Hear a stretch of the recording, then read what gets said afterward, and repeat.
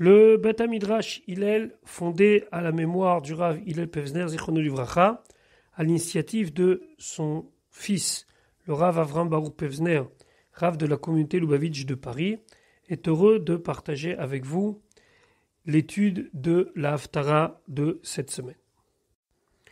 Donc nous continuons maintenant l'étude de notre Haftara. Nous entamons le Perek Memvav. Nous sommes toujours donc dans la névoie de Yecheskel. Cette névoie, cette prophétie, selon un avis, c'est une prophétie qui concerne le deuxième temple. Et sur la majorité des Mefarshim, la majorité des commentateurs, c'est une prophétie qui concerne les Hatid Lavo, la venue de Mashiach et donc le service après la construction du troisième Beth Amikdash. Pasuk Aleph, Ko Amar Hashem Elohim Asi, Hashem Elohim a dit, Sha'ar Echatzer Apenimit, la porte de la cour intérieure. Donc c'est cette cour intérieure, c'est Ezrat Israël, c'est l'endroit où Israël, celui qui n'est pas Kohen, peut avancer au maximum dans le Beth Amikdash. Aponé Kadim, qui se trouve du côté est de la Hazara. Donc il aurait fallu avoir un plan pour pouvoir véritablement déterminer si on parle du Beth Amidash Hasheni. Alors cette porte-là, Yesagur Shechet Imeamase, elle sera fermée pendant les six jours de l'action, ça veut dire les six jours de la semaine. Ou HaShabbat Ipateach, et le jour du Shabbat, elle s'ouvrira. Ou Veyom HaChodesh Ipateach, et le jour de Rosh Chodesh, ça sera ouvert.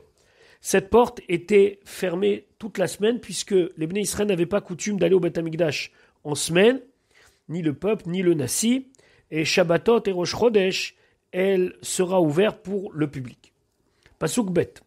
Uva Nassi derech Ulam Le Nassi, donc le, chef, alors où c'est le roi, ou c'est le Kohen, on a vu dans notre show précédent qu'il y avait des différences d'explication. Lui, il viendra à Derech par la porte qui se trouve à l'est, Michutz, à l'extérieur de cette grande porte, et il va rentrer jusqu'à qu'il va arriver à la porte qui donne sur le Echal. Le Echal, c'est l'endroit qui est encore plus saint que ce qu'on avait évoqué précédemment. Ve'amad al mezuzatachar. Il va se tenir près de la porte d'entrée, du côté sud, nous disent les explications, à l'endroit où il y avait une espèce de petite porte qui était fermée. Et lorsque le Nassi, le prince, était à cet endroit-là, les Kohanim prenaient le temps de faire son korban ola, c'est-à-dire son holocauste vet chez la et le reste de ses korbanot. Et avant qu'il allait faire un espèce de demi-tour pour sortir de cet endroit-là, hein, Ishtachava al Miftan il va se prosterner donc au, à l'entrée de cette porte, la porte du Echal où donc se trouvait la partie Kodesh et la partie Kodesh à Kodashim, donc les parties les plus saintes du Beth Amikdash, Veyatsa, et il sortira, Veachar lo Isager Adaarev, et cette porte qui avait maintenant été ouverte où il s'est prosterné, ne sera pas fermée jusqu'au soir. Pasuk Gimel, Amaharetz, Aou, Beshabatot Uve Chodashim, Lifne et c'est là qu'on nous rappelle que le peuple se prosternera à cette porte-là, les Shabbatot et les Rosh Chodesh, l'Ifne Hachem devant Hachem, et c'est la raison pour laquelle elle ne sera pas fermée. A priori, il y avait une, forte coutume, on va dire comme ça, qui vient de ce que on nous dit qu'il y aura les de Lavo, que Ve'aya Mide Chodesh Vechodsho, Mide Shabbat ce sera tous les mois et ce sera toutes les semaines, tout, tout le monde viendra se prosterner à Kadosh Baruch Donc, euh, Ici, il semblerait que on parle de quelque chose qui va arriver les de Lavo avec la venue de Mashiach. C'est pas sûr que c'était comme ça véritablement à l'époque du deuxième temple. Pasuk Dalet, maintenant, on nous parle des corbanotes, des sacrifices que le Nassi va faire, les Shabbatot et les Rosh chaque semaine et chaque mois. Alors encore une fois, dans le cadre de notre cours, il est difficile de rentrer dans tous les détails des lois qui concernent les différents corbanotes, donc on va un petit peu survoler les choses mais il faut savoir que chaque chose a une implication, encore une fois, en essayant de comprendre comment cette névoie correspond à ce que la Torah a demandé précédemment. Pasuk dalet yekrav anasil Hashem beyom Shabbat. Donc le korban ola, qui est donc un korban complètement consacré à Dieu, que le nasi va sacrifier pour Dieu le jour du Shabbat, pour pouvoir comprendre euh, comment ça correspond à la Torah. Alors on va aller selon l'avis qui pense que c'était exceptionnel et c'était uniquement pendant les sept jours d'inauguration. Alors euh, là, on peut comprendre le nombre de korbanot, parce que sinon on ne comprend pas, parce que ça ne correspond pas du tout à ce que la Torah demande le jour du Shabbat. Alors ce sera quoi? Shisha, Chevasim, Temimim, Ve'ail, Tamim. Donc, Shiva, Kevasim, c'est six agneaux, et Aïl, c'est un bélier. Tous ces animaux devaient être Tamim, ça veut dire sans défaut. Ou Mincha, et maintenant, il fallait aussi amener comme oblation Efalaïl, une quantité de un Efa de farine pour le bélier, Vela Mincha, et pour la Kevasim, on va amener une oblation, Matat Yado. C'est ce qu'il désirait donner, c'est-à-dire que c'était une offrande personnelle selon ce qu'il pouvait donner. Veshemen in la Efa, et il faudra amener la quantité de un in d'huile pour le Efa afin de mélanger avec la farine et faire une mincha, une oblation. Maintenant, ça c'est pour le Shabbat. Si kevasim et un il. Pasukva vuveyom ha-chodesh. Pour ce qui est de Rosh Chodesh, le Nasi va amener par Ben Bakar Temimim. Il va cette fois-ci amener quelque chose de plus important. Un taureau Temimim sans défaut. Veshechet Kevasim Va'ail, plus six agneaux et un bélier Temimim Yu qui seront sans défaut. Alors, le Radak, il écrit que les de Lavo, lorsque ma chère va venir et qu'on va faire ça, hein, c'est quelque chose d'extraordinaire parce que on n'a pas l'habitude qu'on fasse un par Ben Bakar alors que c'est uniquement Roche Rodesh. Et c'est la raison pour laquelle le mot Temimim ici, il est souligné. Pourquoi? C'est qu'il y a un par, mais il y a aussi, donc c'est un taureau, mais il va y avoir aussi d'autres corbanotes qui vont être complètement exceptionnels. On a besoin de nous dire, malgré l'exception, il faut absolument qu'il soit temimi. Pasouk, zain, la par un efa pour le taureau, il une efa ou un efa pour le haïl, c'est une quantité de farine. Yaase mincha, on fera de cela une oblation.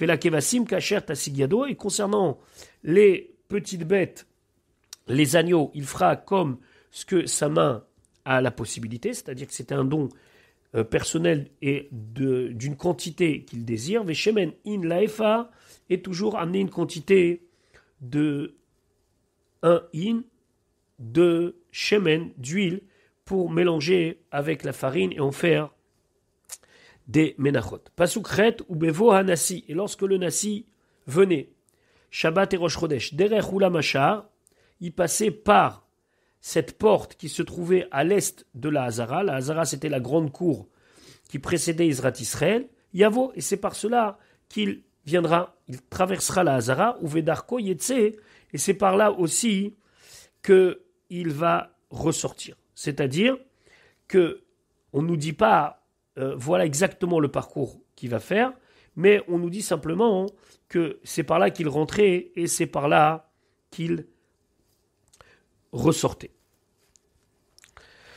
Pasuk Yutet, Ubevo Amaharetz, et lorsque le peuple de la terre, ça veut dire une personne simple, elle viendra pour se prosterner au Beth Amikdash, Lifne Hashem Bamoadim, devant Hachem lorsque c'était les moments où ils étaient dans des fêtes de pèlerinage et ils devaient se rendre au Beth Amikdash, Abba derer shar ishtachavot yetse derer shar derrière Shahar Negev, pardon.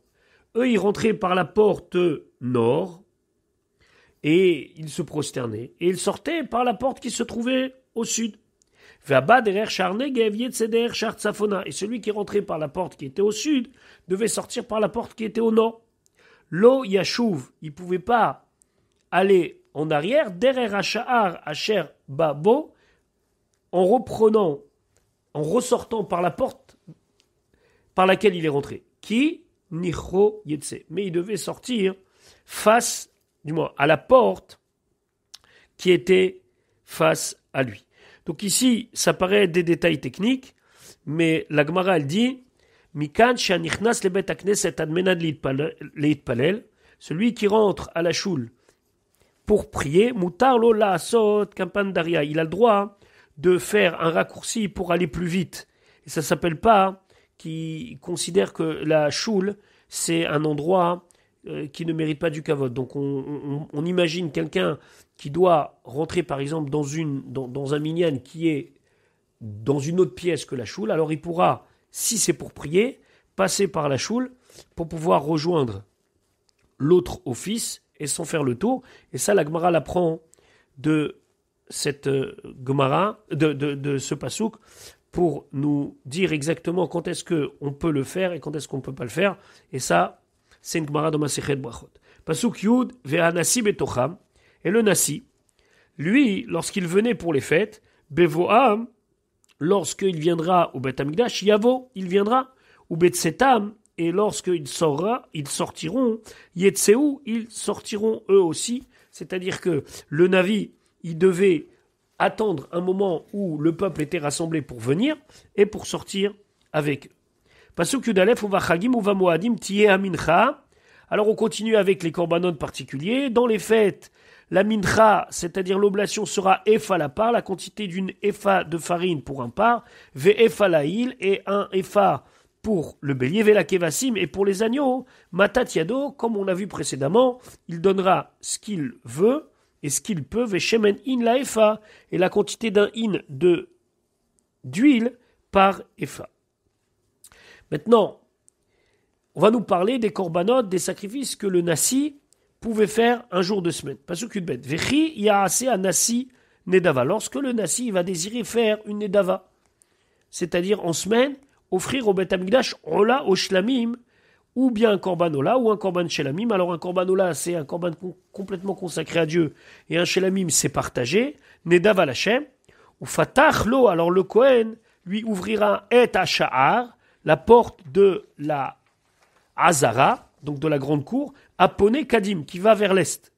Veasa et Olato Shelamav, il fera ses sacrifices, Kacher, Yaase Shabbat, exactement comme il le faisait le jour du Shabbat. Vous vous rappelez, il allait près d'une porte qui était fermée, on lui ouvrait la grande porte, il y avait à côté une espèce de petite porte, comme on trouve des, fois dans certains palais, où il y a une grande porte principale, et juste à côté, il y a une petite porte, ça s'appelle un fashfesh en, en hébreu, Veyatsa, Vesagar et Achar. Alors là, lorsque le Nassi, le prince, sortira de la Zara, à ce moment-là, Vesagar et Achar, le Kohen refermera la porte, Acharet Seto, après qu'il sortira, puisque on avait expliqué que tous les jours de la semaine, cette porte était fermée. Donc là, on l'a ouverte uniquement en l'honneur du Gimel, ben. Maintenant, tous les jours de la semaine, pendant, alors là on est sûr que c'est pendant les jours d'inauguration, il devait faire un sacrifice pour Akadosh Baruch le matin.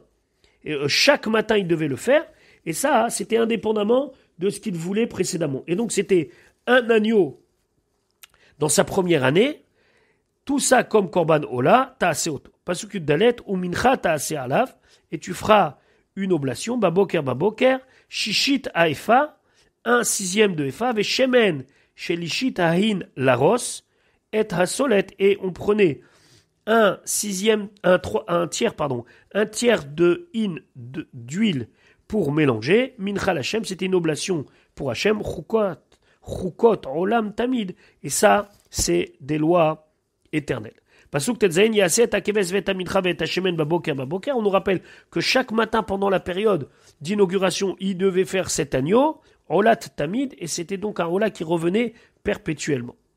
Maintenant, on nous parle de quelque chose, et d'ailleurs, pour beaucoup de communautés, ici c'est la fin de la Dans, certaines communautés, on rajoute trois psukim. Pourquoi? Parce que là, on nous parle de la propriété que le Nasi avait en tant que Nasi. Pasuk Tetzain, Kwa Marachem Elokim, qui yiten un Nasi Matana, les Ish Mibanaf, lorsque le Nasi, il va prendre quelque chose qui lui appartient, qui est dans son, dans, son domaine privé, qui, est à lui, il le donne à un de ses enfants. Nachalato, et ben l'enfant, il pourra hériter. Levana Avtiye, ça appartiendra à ses enfants. Achuzatam ibenachala. Et donc, eux, ils pourront acquérir de leur père le nasi. Et ça, il y avait une petite, euh, une petite particularité, c'est que la nachala du Nassi, ce que le Nassi va faire hériter à ses enfants, c'était hors loi du Yovel. C'est-à-dire qu'il y avait la loi du jubilé où tous les 50 ans les terrains revenaient. Concernant le Nassi et sa famille, c'était pas d'actualité. Normalement, lorsqu'on donne un cadeau, par exemple, du moins, lorsqu'on donne un terrain en cadeau, au bout de 50 ans maximum, ce terrain va revenir à celui qui l'a donné en cadeau. Ici, c'était pas le cas. Pasuk Yudzai. Maintenant, si le Nassi, il décide de donner une partie de ses terrains à l'un de ses serviteurs, et donc il pourra le garder jusqu'à l'année de la libération, c'est-à-dire l'année du jubilé, du Yovel, Shavat, la Nassi, et à ce moment-là, au Yovel, au jubilé, cette part de terrain reviendra au Nassi, Ach par contre, s'il avait fait la même chose avec ses enfants, alors ça reste à ses enfants. Pasuk Yutret, Velo Le Nassi ne pourra pas prendre des terrains appartenant au peuple, c'est-à-dire qu'il n'avait pas la possibilité de profiter de leur pouvoir pour confisquer des terrains. Ça fait référence à des choses qui sont déjà arrivées dans le passé. Mais à Chuzato, Banav, c'est uniquement de ces terrains qui lui appartiennent à lui qui pourra faire hériter ses enfants. Les Maan, Asher, Lo Yafut, Soami, Ish, Et ça, c'est la raison pour laquelle on lui a interdit de prendre de manière euh, complètement aléatoire ce qui appartenait aux autres. Pourquoi? Pour que mon peuple ne va pas s'éparpiller, Ishma c'est-à-dire que les gens préféreront quitter l'endroit où ils habitent pour éviter de devoir donner euh, de manière obligatoire aux Nassi. Alors ce texte-là est une névoie. On a vu dans l'histoire, hélas, que des malchés Israël se sont pas toujours comportés à cette hauteur-là, mais il faut bien comprendre que ici c'est une véritable révolution par rapport à l'époque, puisque de dire que le Nassi n'a pas tous les droits, c'est quelque chose d'exceptionnel. À, l'époque, on a une image du Nassi qui est au-dessus de toutes les lois, et ce ne sera pas euh, euh, toujours, hélas, euh, le cas, puisqu'il y, y aura beaucoup de Nessim qui profiteront de leurs droits, il y en a qui ne profiteront pas, il y en a qui vont profiter pour voler. Et on souhaite que cet exemple-là soit, la voix de Yechesken, un exemple pour les rois d'Israël, mais aussi pour les nations du monde. De toute façon, on verra qu'au deuxième temple, il n'y a pas véritablement une royauté dans le peuple juif, et on attend Bezrat Hashem la royauté définitive avec la venue du Melech HaMashiach. Voilà pour la Haftara de cette semaine. Je vous rappelle qu'il y a différents minagim, donc regardez bien vos sidurim selon quel rite vous suivez, Ashkenaz, Sfarad ou Chabad. La Haftara ne, ne contient pas le même nombre de psukim.